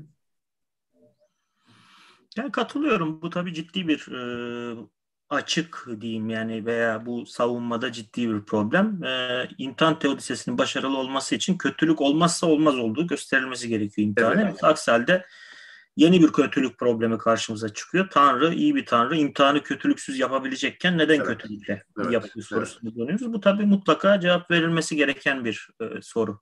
Evet. Ya burada belki bir üst anlamda şöyle bir şey sadece denebilir. Yani Tanrı im, kötülüğün olduğu bir evrende, bu da bazıları bu arada bunu başka bir e, teodise tarzı olarak savunuyor. E, kötülüğün olduğu evrenlerde insanlar Tanrı'nın emirlerine daha çok uyuyor denebilir. Hatta genelde e, bu görüşü ortaya atanlar empirik veri de sunmaya çalışıyorlar. Hmm. Genelde daha çok böyle salgınların olduğu ne bileyim kötülüklerin yani insanların kötülüklere maruz kaldığı toplumlarda dini inanç daha çok. Belki burada tabi illa bu tabi teizmi destekler anlamında değil. Yani insanlar çaresiz hissettikleri zaman bir Tanrı'ya inanma ve Tanrı'ya dönme eğilimi içerisinde gidiyorlar. Belki burada tek söylenebilecek şey şu yani bu sizin yaklaşımınıza yani bir başka teodiseyle birleştirip ya Tanrı kötülüğe insanlar daha çok kurtulsun diye e, izin veriyor. Çünkü kurt, kötülüksüz imtihanlar, işte Hazreti Adem'in imtihanı gibi insanlar oralarda daha çok yan, yanlışlanacak, daha çok hata yapacaklardır. Daha hmm. çok imtihanı kaybedeceklerdir. İşte hatta belki o kıssa öyle de okunabilir. İşte bak Allah'ın varlığı olmayınca öyle oluyor gibi. Olmayınca öyle oluyor ama hmm. şey imkanı verilirse işte kötülük imkanı verince kötülük karşısında insanlar işte daha çok Tanrı'ya dönüyorlar. Yet, yetmediklerini kendine fark ediyorlar. İşte daha e, inançlı oluyorlar ve kurtuluyorlar denebilir. Yani bu bir olası strateji olabilir cevap vermek için. Evet. Yani burada ben yine e, şey de düşünüyorum. Bu e, ruh yapma teorisinde söylediğim gibi en az acı çeken insanı düşünelim ya da en mutlu insanı düşünelim. Hani o da sonuçta e, hayatını yaşadı. Şimdi aynı şekilde e, o da imtihanı oluyor. Fakat onun imtihanı çok daha kolay. Hani e, ve o insan bu dünyada şu anda. Ya acıların olduğu bir dünyada. Fakat birçok acıdan haberi yok. Kendisi e, yaşamamış acıyı. Eğer onunki de imtihansa yine bana şey gibi geliyor. Bu dünya içerisinde de en iyi durumda olan insanların yaşamı herkes tarafından paylaşılsaydı yine imtihan olacaktı. Çünkü o insan da bu dünyanın içerisinde ve hala o da imtihan oluyor. Yani hala bana şey gibi geliyor. Bu kadar bu kadarı gereksiz gibi geliyor imtihan için. Yani bilemiyorum. Belki orada doğa yasaları işin içine girince biraz daha farklı olabilir ama. İşte mutlaka bir başka izah daha getirmek gerekiyor. Dediğim gibi bir şey daha eklemesi gerekiyor. Tabii burada e, imtihan niye lazım? E, o ayrıyetten zaten düşünülmesi gerekiyor. Ayrı mesela oradan da itiraz edebilir. Yani imtihan niye ihtiyaç duyuyordu falan e, gibi e, bir şeye de bence bir açıklama bulması gerekiyor imtihan teodisesinin. Evet. evet. Orada evet. cehennem problemi ayrıyetten. Şimdi imti- imtihanda mutlaka tabii cehennem problemini gene bazıları kötülük problemi içerisinde almıyor ama o da bir kötülük problemi esasında. Ben alıyorum şahsen ve yani vaktimiz büyük ihtimal kalmayacak bugün ama hani o da e, hatta burada YouTube'da da soruyor insanlar ya konuşulabilecek şeylerden bir tanesi cehennem. Bir şey daha söyleyeceğim bu imtihan teorisine. Hani e, dedin ya belki şeyle de desteklenebilir diye. E, kötülüğü bilmemiz lazım. Eğer bu bir imtihansa hani bilmen lazım demek. Ne bekliyor seni? E, iyisinde kötüsünde. Bunun da çok açıklayacağını ben düşünmüyorum. Çünkü şimdi her şey kadir bir tanrıdan bahsediyoruz. Bize eğer kötülüğün bilgisini vermek istiyorsa a priori olarak da verebilirdi. Rüyamızda da gösterir. Kabus görürdük yani. Hani mesela dünyada çok güzel yaşardık e, şeysiz, böyle büyük acılar olmadan fakat büyük acıların olduğunu rüyamıza gördük. Gerçekten acı çekmeden. Ya da dediğim gibi a priori doğuştan kafamızda bu kavramlarla doğabilirdik. Çünkü yani kadiri mutlak bir tanrıdan bahsettiğimiz zaman her şeyi yapabilir. Ya o yüzden bizim tecrübe etmemize, gerçek anlamda tecrübe etmemize gerek yoktu gibi geliyor bana bu kötülükleri. Çünkü şu anda tecrübe ettiğimiz kötülükler de cehennemdeki kötülükler gibi değil sonuç itibariyle değil ama yani bir şekilde ama yansıtması gerekiyor tabii. Evet, o, o yansıtma işte mesela rüyalarda olabilirdi, doğuştan getirdiğimiz kavramlarda olabilirdi. Yani gerçekten insanların küçük çocukların tecavüz uğramasına gerek yoktu yani. Ya bunlar bu arada böyle bir e, kötülük problemine böyle bir çözüm önerisi de var. Ben ama yani bu eğer ki sizin dediğiniz doğru ol, doğruysa yani kötülük e, rüyada deneyimlenebiliyorsa o zaman şunu şu da bir kötülük probleminin çözümü olurdu. Ee, biz şu anda rüyadayız. Böyle e, Yahudiler içerisinde böyle bir gelenek var. İdealist Yahudiler dünyadaki bütün kötülüğün esasında bir rüya olduğunu, hiçbirinin gerçekleşmediğini ve e, söylüyorlar. Bu da bir çözüm olurdu ama bana yani bu tarz fenomenolojik bizim doğrudan deneyimlediğimiz şeyler rüyada olsa dahi yani gerçekte de olsun rüyada da olsun bana hala kötülük olacakmış gibi geliyor. Yani bir şekilde Anladım. deneyimliyorsak bunun fiziki bir şekilde olması gerekiyor gibi gelmiyor bana. Gel, geliyor olsaydı dediğim gibi şu anda bile biz rüyada olup olmadığımızda yüzde yüz emin değiliz. Muhtemelen rüyada değiliz ama böyle de bir çözüm verilebilir. Ya bütün deneyimlediğimiz şahsla bir rüya hiç gerçekleşmedi falan. İslam geleneğinde de var bu arada böyle bir yaklaşım. Yani yaşamı zaten yani sufiler içerisinde hakik, yaşadığımızın hakikat olmadığı aslında bir rüya oldu. Ee, yani bu yaklaşım eğer ki şeyse rüya çözüyorsa bu çözer ama bana çözer gibi gelmiyor. Çünkü fen rüyada da acı çeksek bana hala acıymış gibi. Doğru. Doğru. Ama şöyle bir şey olabilir. Mesela ben şimdiye kadar hiç ne işkenceye uğradım ne bir şeye uğradım. Hani e, ama başka insanların uğradığını görüyorum ve buradan ben bu kötülüklerin varlığının bilgisine ulaşıyorum. Fakat ben rüyamda diğer insanların uğradığını görebilirim. Aslında kimsenin uğradığı yok. Rüyamda görüyorum sadece diğer insanları. Hani o zaman baya baya kötülükten kurtulmuş olurduk. Fenomenolojik deneyim değildi ama o zaman da kötülüğü bilir miydik tartışılabilir. Yani başkasının acıya maruz kalıp biz hiç acının en ufak bir şekilde maruz kalmasak. En ufak bir şekilde yani, değil. Yani bir şekilde maruz kalın. Herkes benim kadar acıya maruz kalsa dünya çok güzel bir yer olur bence. Yani çünkü hiç çok büyük bir acı çekmedim böyle fiziksel, psikolojik falan. Yani, Allah girmesin. Evet amin. Ama sonuçta ben de imtihan oluyorum. Yani demek ki bir hani e, YouTube'da falan videolar izliyorum böyle belgeseller var. Ne acılar, ne acılar, ne acılar, ne acılar. Ben onları görüyorum. Ya böyle akla hayale gelmeyecek, tahayyül edilemeyecek.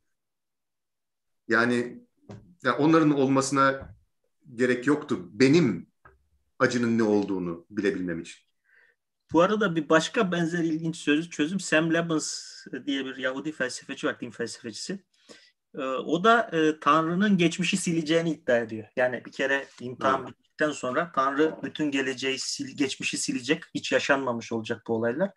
Öyle olunca da kötülük problemi çözülecek diyor. Ben onu da çok makul bulmuyorum ama ilginç bir yaklaşım o da. Yani e, kötülüğü yok edecek Tanrı diyor. Kötülüğü geçici izin Bunlar hiç olmamış olacak. Hiç olmamış olacak. O zaman insanlar da günah işlememiş olacak. O zaman bir, olmayan bir şeyden dolayı cennet cehennem de Evet tabii o öyle bir... Daha da tamamen şey evet. Öyle bir sorun var. İlginç. Onlar Religious Studies'te yakın zamanda sanırım 2-3 yıl önce çıkmıştı makaleleri. İlginç bir çözüm önerisi. İlginç. Tamamdır. O zaman e, istersen şey yapalım mı? Çok fazla vaktimiz kalmadı. Bu e, çoklu evrenler teodisesinden istersen bir bahsedelim. Evet. Benim en makul bulduğum teodise çoklu evrenler teodisesi. Bunun e, temel yaklaşımı da şu. Tanrı farklı versiyonları gene üretmek mümkün ama kabaca Tanrı maksimum iyi bir varlık olarak maksimum iyiliği, e, maksimum güzelliği yaratmak istiyor. E, var olmaya değer bütün varlıkları yaratmak istiyor. Bu da tabii çok evrenler yaratmasını gerektiriyor. Çünkü aynı varlıkların hepsi e, aynı evrende değil. Bu yaklaşımda Tanrı kötülüğün olmadığı evrenleri de yaratıyor. Böyle evrenler mümkünse hı hı. bu evrenleri yaratıyor. Ondan sonra esas soru şu oluyor. Bu evrenlerin yanında, bu evrenler sonsuz da olabilir. Bu evrenlerin yanında Tanrı az biraz kötülüğün olduğu ama iyiliğin daha fazla olduğu evrenleri de yaratmak ister mi sorusu evet. devreye giriyor. Buradaki kötülükler bu evrenin yaratılması için ödenmesi gereken bedel. Çünkü evet. bu kötülükler olmazsa bu evren var olamaz. Bu evren var olmayacaksa da oradaki iyilik, oradaki varlıklar da var olamayacak. Dolayısıyla bu yaklaşımda e, çok evrenler teorisesinde kötülük biraz bizim bu evrenin yaratılması için ödenmesi gereken bir bedel olmuş oluyor. Farklı okumaları var. Benim makul bulduğum okuma bu. Bu da gene İslam geleneğinde İbn Teymiye'de bulabileceğimiz bir yaklaşım. O Tanrı'nın devamlı evrenler yarattığını ve işte orada evrenleri birbirine ayıracak unsurlar koymak zorunda. Bunları da bir yerde ister istemez kötülüğü de için içine e, koymak zorunda oluyor. Bu tabii hem doğal kötülükleri hem de e, ahlaki kötülükleri açıklayabilir. E, doğal kötülükler burada mesela bir e, biz soruyoruz ya niye bir e, atıyorum ceylanın yanmasının nasıl bir e, getirisi olabilir. Bu yaklaşımda bütün bu evrenin yaratılması gibi bir getirisi var. Yani evet. o ceylanın evet. yanmadığı evren zaten mevcut. Evet. Esas evet. soru evrenin yanında bu evrenin e, yaratılması makul evet. değil mi? E, bana makulmuş gibi e, geliyor. Yani şöyle diyebilir miyiz? Mesela Leibniz ne diyordu? Bütün e, Tanrı a priori olarak bütün mümkün evrenleri biliyor. Hepsine bakıyor, en iyisini seçiyor. Ve sadece en iyisini. Çünkü ona göre hani evren, e, Tanrı yalnızca en iyisini yaratır.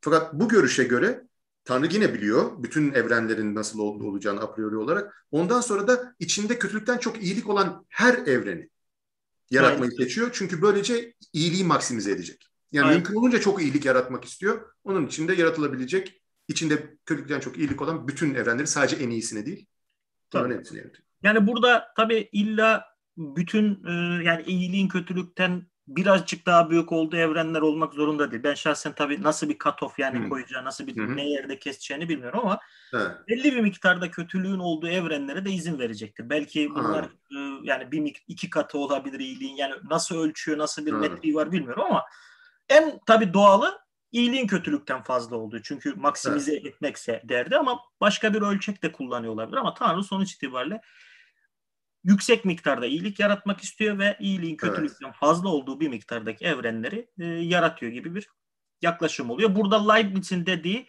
yani, ta, mümkün olan en iyi e, evet. evren tek bir evren değil de multiverse olmuş oluyor. Çok evrenler olmuş. Anladım. Yani Set burada böyle. mümkün evet. olan en iyi realiteden söz etmeye başlıyoruz artık. Evet. Eğer ki iyiliğin kötülükten fazla olduğu bütün evrenler dersek yani en standart yaklaşımı tercih edersek orada Tanrı en iyi realiteyi yaratmış oluyor. Bizim evrenimiz bu en iyi realitenin bir parçası olmuş oluyor. En iyi evren değil ama o realitenin bir parçası. Evet. Birkaç tane sorun var burada. Yani itiraz diyebilir miyim bunlara çok emin değilim açıkçası. Çünkü bu bence de fena değil bu, bu teodise. Ee, makul geliyor. Ama birkaç tane endişe diyeyim bunlara itirazdan ziyade. Çünkü çok çok bir şey yapamadım. Bir, direkt bu en son söylediğinle alakalı olacak bu. Hı hı. Tanrı, yani şöyle bir sorun olabilir mi sence burada? Ee, bir öyle bir realite yaratıyor ki Tanrı, onun içerisinde e, belli bir ölçüde kötülükten çok iyilik içeren birçok evren var, belki sonsuz. Ee, bu bir realite. Acaba şöyle bir şeyden bahsedebilir mi? Yani meta şeye getirince bu soruyu. Başka bir realite olsa orada da sadece en iyi evren var mesela. Başka bir realite orada da en iyi evren ve azıcık daha birazcık kötülük olan. Başka bir realite en iyi evren ve yani böyle bir realiteler realitelere de bunu uygulayabilir miyiz acaba aynı düşünceyi? Yoksa realite tanımı gereği sadece bir tane mi olmalı? Şimdi güzel bir soru. Bu e, yaklaşımın çalışması için e, burada evrenlerin e, ontolojik olarak çok evrenlere öncül olduğunu iddia etmek gerekiyor. Yani prior olduğunu iddia etmek gerekiyor. Bu anlamda yani ben şeyle ilgili nominalistim. Çok evrenlerle ilgili. Yani çok evrenlerin evrenlere indirgenebileceğini e, düşünüyorum. Hı hı. Dediğiniz şey esasında meta yukarıya çıkabilir miyiz? İşte hı çok evrenlerle ilgili aynısını soya sorabilir miyiz? Evet. O zaman bunun da üstüne çıkabilir miyiz vesaire. Evet, evet.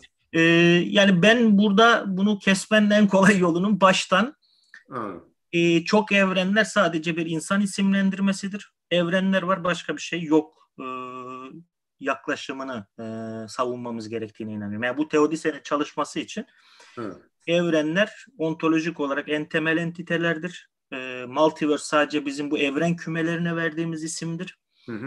E, demek gerektiğini düşünüyorum. Yani realitenin kendisi ontolojik bir entite değil. Şeylere tamamen evrenlere indirgenebilir Anladım. gibi geliyor bana. Bu bu arada şeyden bağımsız olarak bana makul geliyor. Yani e, teodise çalışsın diye böyle değil. Yani benim çok evrenden söz etmem onu oluşturan evrenlerden fazla bir bilgi vermiyormuş gibi geliyor bana. Yani hakikaten evrenlere indirgenebilirmiş gibi geliyor. Hı. Birbirinden bağımsız burada iki uzay zaman var. Yani Hı. bunların kümesinden söz ediyorum ben. Bu kümesinin kendisinin bu iki evrene aşkın olduğunu düşünmemiz için bir gerekçe gelmiyor zihnime. E, bu tabii çok evrenlerle ilgili bir mesele zaten. Yani çok evrenleri savunacaksak bir şekilde e, bunların üstünün, multiverse'ün çok evrenlere indirgenebilir mi? İndirgenemez mi? Bunu sormamız evet. gerekiyor. Bence indirgenebilir. Ha. Ee, bir başka şey böyle aklıma takılan bu konuda. Şöyle bir mümkün dünya olabilir mi? Bunun bu yaratıldığına göre demek ki burada iyilik daha fazla. Ee, ama mesela aynı bunun gibi değil mi? Öyle bir süre her şeyden bahsediyoruz. Mesela aynı bunun gibi biraz önce bir tane yaprak düştü diyelim ki yaprağın düşmediği. Evet. O da var, o da var, o da var. Hepsi yani. Şöyle şöyle bunlar mümkün mü acaba? Bizimki gibi evrenler, kutsal kitaplar var gene ya da bir hak kitap var. Hı hı. Ve bazı evrenler, bunun için bazı evrenlerde orada söylenen bazı şeyler yanlış. Mesela işte cehennem olmasın falan, ya da başka bir şey olsun. Bir şeyler yanlış olsun yani. Ve bir kitap varsa o kitabın içindeki her şeyin doğru olduğu evrenlerin sayısından daha yüksek. O kitabın kitabın içinde bir şeylerin yanlış olduğu evrenlerin sayısı. Çünkü bir sürü değişik şekilde yanlış olabilir. içinde içinde yazan şeyler. Bu durumda acaba biz şöyle bir şeye düşer miyiz?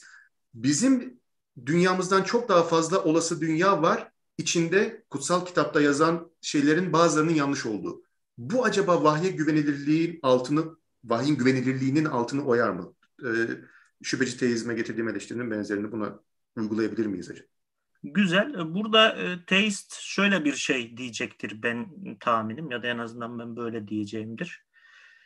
E, bu tarz evrenler mümkün değil. Evet. Neden mümkün evet. değil? Çünkü bunlar Tanrı'nın doğasıyla çelişiyor. Yani buradaki evet. esas soru Tanrı'nın yalan söylediği bir evren mümkün müdür? Evet. Yani bana bu tarz evrenler mümkün değilmiş gibi e, geliyor. Öbüründeki sorunda burada nasıl fark var? Öbüründe Tanrı yalan söyleyebilir kabul ediyorsun. Çünkü Tanrı bir anda yalan söylemenin iyi olduğuna karar verirse evet. E, der ki ya o evrende yalan söyleyeyim buna karar verir ve söyler. Bizim o zaman yani objektif bir ölçeğimiz yoksa e, şey için Tanrı'nın yani iyi ve kötü için o zaman Tanrı'yı da değerlendiremiyoruz ve Tanrı ne yaparsa yapsın şey olmuş oluyor. Ama bu çok evrenler teori teodisesinde biz zaten bir ölçek olduğunu varsayıyoruz. Yani bir iyilik ölçeği olduğunu varsayıyoruz. Bu iyilik ölçeğinde de yalan söylemenin e, kötü olduğunu varsayarsak ki e, ben böyle varsayıyorum. Mesela İbn Teymiye de öyle varsayıyor. Orada Hı. Tanrı'nın yalan söylediği bir evren olmamış oluyor. Dolayısıyla ya. bütün evrenlerde zorunlu olarak kutsal kitapların doğruyu evet. söylüyor olması gerekiyor. Bunlar mümkün Tanrı evrenler değil. Bunlar mümkün evren değil. Yani o evet. listeler içerisinde yok. Çünkü evet. ta, bütün Tanrı zor e, yaratı e, bütün evrenleri yarattığı için bütün mümkün evrenlerde var. Tanrı burada zorunlu bir varlık. Dolayısıyla bütün evrenin yapısı bir şekilde Tanrı'nın doğasıyla uyumlu olmak zorunda. Evet, evet. Yani şeyi ortaya koymaya çalışıyorum. Çünkü şimdi Tanrı'nın bir utilitarian gibi bir yaklaşımı olduğunu varsayıyor. Ya varsayımlar nelerdir? Arka plandaki varsayımlar nelerdir? Doğru. Bir bu. İkincisi yalan söyleyemeyeceğini. Hani bu, bu, bu teorisiyi kabul etmesi için bir insanın nere gibi e, şeyleri de kabul etmesi lazım diye.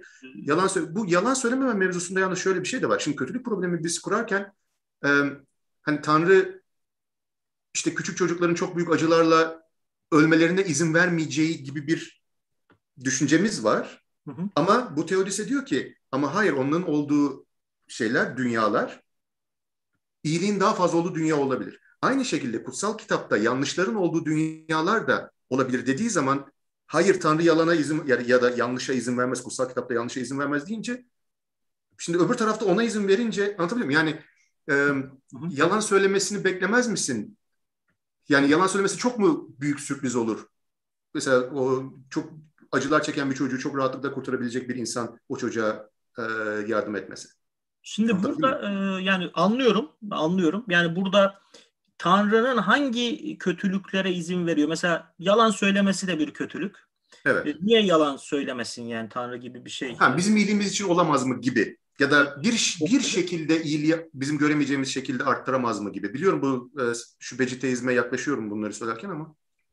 Yok e, bu makul bir e, soru. Ya bence burada bu Teodise'nin çalışması için biz mutlak manada bir şey ölçek e, o ölçeğimiz olması lazım. Yani bir şekilde bir iyi kötülük ölçeği olması lazım. evet. Ondan sonra bu iyi ve kötülük ölçeği neyi kapsar neyi kapsamaz. Mesela bir teist belki şöyle diyebilir. Yani esas da belki böyle evrenler olabilir yalan söyledi ama Tanrı'nın yani bir teist şuna e, şunu kabul ediyor. Tanrı adildir. Dolayısıyla evet. evrenlerde kötülük izin veriyor evet ama bu kötülüklerin ad, Tanrı'nın adaletiyle çelişmemesi gerekiyor. Evet. Mesela bir çocuk hastalanıyor ama o çocuk ve acı çekiyor.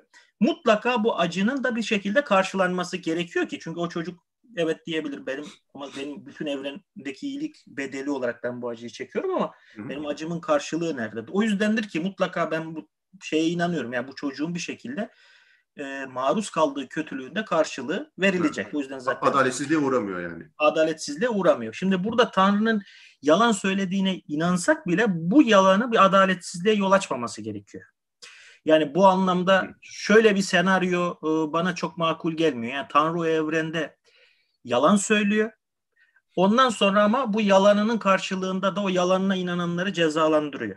Bu e, şüpheci teizm şeyde bu e, eşari tarzdaki yaklaşımda bu bir sorun. Çünkü Tanrı cehenneme göndermenin de iyi olduğuna karar verebilir. Yani mutlak ölçek olmayan yerlerde Tanrı ötesiyle ilgili de sorun çıkarabilir. Burada belki bu teodiseyi savunan şunu söyleyebilir. Evet Tanrı'nın belki e, yanlış vahiy gitmesine izin verdiği insanlara evrenler var ama bunun adaletsizliğe yol açmayacağı demek zorunda. Evet. evet. O zaman o zaman yine e, dindar bir insan şunu mu der? Bu teorisiyi kabul eden dindar bir insan yine bize düşen kitaba inanmak ve kitabı kitaba takip inanmak. Yani kitap yalan çıksa bile burada bu adaletsizliğe yol açmayacağı için evet. ya burada böyle bir ölçek kabul edersek yani bir nihayetinde bir bağımsız bir nesnel bir e, adalet anlayışını kabul edersek arka planda e, ortada sorun kalmıyor ki bence baştan Teodise'yi kurgularken böyle bir anlayış var. Yani evet kötülük var ama bu kötülük mutlaka adaleti bozmayacak şekilde. Dolayısıyla Hı. Tanrı yalan söyler mi? Teist yalan söylemez diyebilir ama dediğiniz gibi sizin tabi e, dediğin gibi teistin şeyi açıklaması gerekiyor. Ne tarz kötülüklere e, izin verir Tanrı, evet. neye izin vermez ve bunu ad hoc yapmaması gerekiyor. Yani sadece evet, işine evet. gelir şekilde. Adalet baştan zaten e, teistin kabul ettiği bir şey. Yani burada adalet çerçevesinde belki bu sorunu kısmen çözebilir. Ama tabii üstüne düşünmek lazım bu itirazın. Evet. Bu makul bir itiraz. Evet, son bir şey daha söyleyeceğim bununla ilgili. E, vaktimizi açtık saat 9 demiştik ama e, şöyle bir şey düşünüyorum. Belki de bunun biraz daha sezgisel olarak çok fazla e, böyle makul olmayan bir yönü olabilir belki. Şimdi diyelim ki şöyle bir şey oldu. Tanrı 100 kişilik bir evren yarattı. 100 kişi hangi fiziksel kanunlar varsa artık orada sadece 100 kişi var orada. Ve o 100 kişi e, mutlu. Tamam güzel. Yani o, o değer her neyse yani orada o var. Tamam yaratıldı. Bir de o 100 kişinin olduğu bir tane de acı çeken bir insanın olduğu bir evren var a priori olarak. Şimdi Tanrı onu da yaratır buna göre. Eğer 100 kişinin mutluluğu onu e, şey yapıyorsa hani e, ona üstün geliyorsa, o kişinin acısına üstün geliyorsa. Fakat David Benatar'ın bilmiyorum biliyor musun antinatalizmle ilgili e, şeylerini. Hani o, onun bakış açısından bakarsak şöyle bir şey oluyor. Fakat o diğer evrenin yaratılması, 100 kişi yaratıldıktan sonra bir de artı bir kişinin acı çektiği bir evrenin yaratılması o bir kişi haksızlık. Yani burada evrenin toptan dediğim gibi utilitarian bir bakış açısıyla değil de evrenin toptan değerini değil de bir kişinin yaratılması. Çünkü David Benatar'ın şöyle bir görüşü var. Ee, mutlu olacak bir insanı yaratmak iyi diyebiliriz. Tamam çünkü değer olacak. Ya, mutlu ya da her ne değer, hangi değerden bahsediyorsak bu arada. iyi bir yaşama olacak bir insanı yaratmanın e, değerinden bahsedebiliriz. İyi bir insanı yaratmamak ama kimseye haksızlık değil. Çünkü ortada kimse yok ki haksızlık olsun ona. Yaratılmadığı için o kişinin dünyaya getirilmemesi o kişiye haksızlık değil. Çünkü o kişi diye bir şey yok ortada. Fakat acı çekecek bir insanın, kötü bir hayat yaşayacak bir insanın dünyaya getirilmesi o kişiye haksızlık. Ona haksızlık ve o kişinin dünyaya getirilmemesi de iyi bir şey. Şimdi o, bu ikisini dengelersen işte o zaman şey çıkıyor ortaya. Ee, acı çekecek insanların olduğu evreni yaratmamak daha iyi. Çünkü yaratmazsan kimseye haksızlık yapmış olmuyorsun. Yaratırsan bazı insanlara haksızlık yapmış oluyorsun. Hani bu da bazen şey diye söylüyorlar. Ahlaki leke gibi bir e, kavram kullanıyorlar. Hani Tanrı tamam daha çok iyilik yapabilir ama o lekeli bir iyilik. Hani o yaratılan evrende e, acı çekecek insanların da yaratılması o evrenin iyiliğini lekeliyor ve Tanrı'ya yakışmaz lekeli iyilik gibi bir e, kavram kullanıyorlar bazen terim kullanıyorlar. Şimdi benim buna iki tane notum olacak tabii. Bir e, bu kişi tabii burada hep adaletsizlik olmaması lazım. Bu kişi acı çekecek ama nihayetinde bir şekilde bu acısının da karşılığını uzun vadede alması gerekiyor. E, birinci nokta bu. İkincisi benim itiraz edeceğim bu şeyle ilgili değil bu arada. Sırf kötülük problemiyle ilgili değil. Bu arada benim çok evrenlerle ilgim daha bağımsız. Yani ben teizmin kendisinin çok evrenleri gerektirdiğini düşünüyorum. Bununla ilgili daha yayınlanamadığım bir makale var. Makalem var. Orada aslında bu konuya değiniyorum. Ee, benim şahsi kanaatim e, Tanrı'nın o yaratmadığı insanlara karşı da sorumluluğu olduğu yönünde. Hmm. Yani var olmayan insanlara karşı sorumluluk meselesinde biz genelde bir bir şey yok ona karşı bir sorumluluk yoktur diyoruz ama hı burada iki tane noktadan itiraz edilebilir. Bir, biz mesela gelecek nesillere karşı sorumlu olduğumuzu düşünüyoruz. Yani acaba gerçekten var olmayanlara karşı mutlak eğer ki A teorisini kabul edersek zamanın e, gelecek nesiller yok. Bu zaman o zaman ben gelecek nesillere karşı hiçbir sorumluluk taşımıyor muyum? Sanki taşıyormuşum gibi geliyor. Ama var olacak değil mi onlar? Hani şu anda var değiller ama var olacak olanlara. Evet. Var olabilecek olanlara. Şimdi e, ikincisi biz e, şöyle düşünelim. Biz bize şey gibi geliyor. Birini ya, yaratabiliyorsan ona karşı yaratıp yaratmamakta özgürmüşüz gibi geliyor. Özellikle çocuklarla ilgili mesela çocuk yapıp yapmama noktasında özgürüz. Ama diyelim ki sonsuz e, kudretimiz var bizim. Yani çocuk yapmak bize hiçbir maddi manevi zorluk getirmeyecek. O zaman gerçekten çocuk yapıp yapmama bizim özgürlüğümüz dahilinde olur muydu? Yani burada bir varlık var e, yaratılacak. Burada da başka bir varlık var yaratılacak. İkisi de varlığından mutlu olacak, zevk alacak. E, şimdi bunu yaratıp bunu yaratmamak ve biliyorum ben yaratabilecek kudrete sahibim ve bana hiçbir kostu olmayacak, beni hiç rahatsız etmeyecek. Gerçekten benim sorumluluğum yok mu?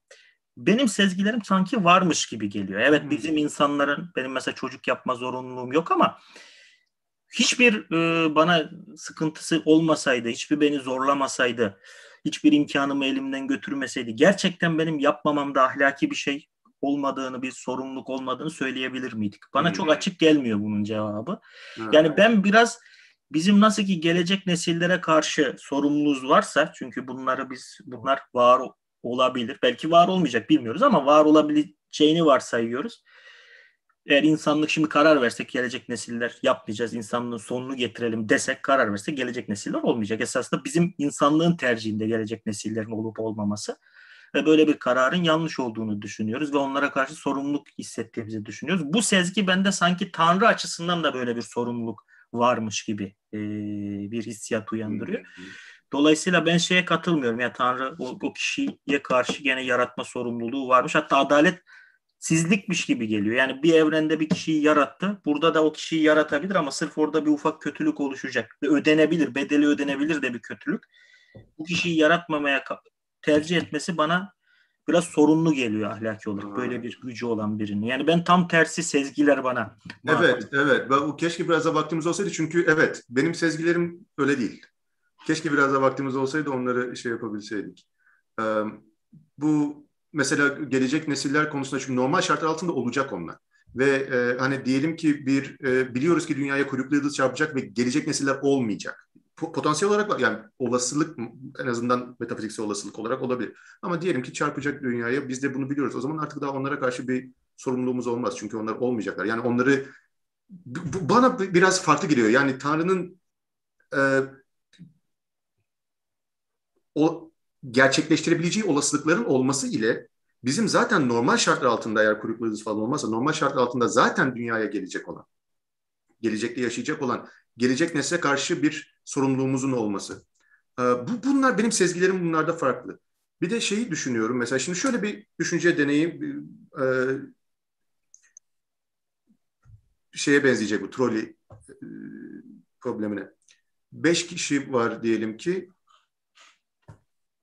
Değil mi? Öyle mi yapayım? Neyse dur deneyelim. Beş kişi var. Bir odada komadalar bunlar şeyde hastanede. Bir tane daha var. O da yanlarında. Altı kişi. Komadalar. Bilinçleri yok. Ve kazanmayacaklar da bilinçlerini. Fakat öyle bir makine var ki bunlara böyle bir iki saatlik bilinç verebiliyor. İki saatlik. Ama ondan sonra gidecek. Ve beyin yapılarından dolayı bakıyoruz eğer bu makineyi çalıştırırsak bilinç kazanacak olan bu altı kişi içerisinden beşi çok güzel bir rüya görecekler.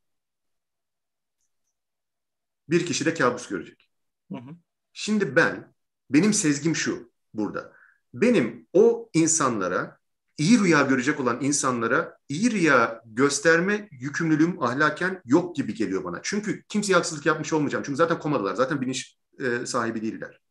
Yani onlara haksızlık olmaz onları şey yapmamak. Bilinç kazandırıp da güzel rüya göstermemek gösterebilirsin bu arada. O da yanlış bir şey değil. Ama benim o insana karşı diğer kabus görecek olan insana karşı sorumluluğum var. Ona kabus göstermemeye. Yani o yüzden ben burada şeye gidiyorum. Hani o makineyi çalıştırmamalıyım ma gidiyorum. İşte burada esas soru o kişi ama kabus gördükten sonra o da güzel rüya görecekse o, o kısım da hiç anlamadığım kısımlardan bir tanesi. Yani mesela şimdi bu dünyada e, bir çocuk çok büyük çok büyük çok büyük acılar çektikten sonra ama ahirette her şey yoluna girecek demek. Onun nasıl olabileceğini de ben görmüyorum, göremiyorum. Hani bu tahayyül edememe şeyi var ya. Çünkü o, o acıları çekmeden de giden bir sürü insan var. Hani ödül alan insan var ya da işte cennete giden insan var. Hani niye o, onun bir zorunluluğunun olması lazım gene. Onu ben çok göremiyorum. Ve nasıl e, kompanse edilebilir, nasıl tazmin edilebilir bu? Ya burada tabii esas e, şey şu. Tabii Tanrı elinden e, maksimum adaleti sağlamakla yükümlü. Ama bu maksimum adalet herkesin eşit olmasını da gerektirmeyebilir. Zaten e, biraz e, bu teodisyenin mantığında da bu var. Yani bu evrenleri yarattık. Bir evrende de yani bu kötülük bu evrenin varlığının bedeli. Esas burada önemli olan şey bu kötülüğe maruz kalan kişinin de varlığından memnun olup olmayacağı. Uzun vadede yani. Bütün uzun vadede. Tabii evet. uzun vadede. Bütün hayatı boyunca. Hani illa burada o kişi belki hiçbir zaman adalet sağlanamayacak orada. Zaten bu herhangi bir evrende herkes eşit olabilir mi? Yani mümkünse Tanrı yapacaktır ama mümkün mü? Mümkün değilse o zaman zaten mümkün olmayan bir şeyden de Tanrı'yı sorumlu tutamayız gibi geliyor bana. Yani benim burada sezgi, sezgilerine biraz dayanıyoruz tabii ama evet. eğer ki o kişi, o çocuk evet bir süre kabus görecek ama sonrasında iyi rüya görecekse sanki bana yani kompanse edilecekse bir şekilde maksimum adalet sağlanmasa bile yani şey e, maksimum adalet sağlanacak da böyle eşit olamasa bile adil olarak o sistem. Her bir bireye eşit şekilde. Eşit şekilde ha. dağıtılamıyorsa da bu e, mutluluk, iyilik her neyse Hı ben hala Tanrı'nın bunu yaratacağıymış gibi geliyor. Burada hani sanki bir e, şey gibi oluyor bana. Yani sanki haksızlık burada ben ben şey bunları yaratmamak haksızlık gibi geliyor bana. Hmm. Yani bu evet. kadar varlığını enjoy edecek hepsi bunlar. Sen yaratmıyorsun. Yani sanki e, bunları yaratmamak e, problemmiş gibi geliyor. Evet. Tabii burada daha üst meta e, bir savunma da sunulabilir. Hani denebilir ki Tanrı zaten varlığından memnun olmayacak uzun vadede bireylerin olduğu evrenleri yaratmayacak da denebilir. Ortada evet. inanıyorsak evet. Tanrı işte bu kişi burada hani e, biraz şöyle bir şey sizin düşünce deneyi üstünden devam edersek hani o kişiye belki sorduğumuz zaman sen bu kabusu göreceksin ama sonra da bir güzel rüya göreceksin işte sonsuza kadar ya da uzun süre. Hı. ister misin dendiği zaman evet isterim diyeceği diyecekse de peki gene yapmaz mısın gibi bir soru geliyor. Burada cevabı sanki yaparım gibi olur e, gibi geliyor bana. Evet. Böyle de bir üst savunma da e, getirilebilir ama ben öyle bir savunmaya ihtiyaç duymadan da niyeyse bana böyle bir evren yaratmak makul gibi e, geliyor. Evet. Yok dediğim gibi bunlar böyle bir hani endişeler gibi e, bana geliyor. Yoksa e, bu da gerçekten dediğim gibi en potansiyeli yüksek e, teorisi olarak görüyorum açıkçası ben bunu. Evet, e, vaktimizi tamamladık. Hatta açtık. E, birkaç şey daha vardı belki konuşabileceğimiz ama artık e, zaten yeterince bence şey hakkında konuştuk. Çok teşekkür ederim e, katıldığın için, verdiğin bilgiler için, görüşlerini bizimle paylaştığın için. E, umarım ileride tekrardan hani bu tarz bir şeyde belki de tekrardan e, bir söyleşide, sohbette bulunuruz. Güzel olur. Evet, teşekkür ederiz e, Enis Toko ve dinleyenlere de teşekkür ediyorum. Daha sonra e, görüşmek üzere.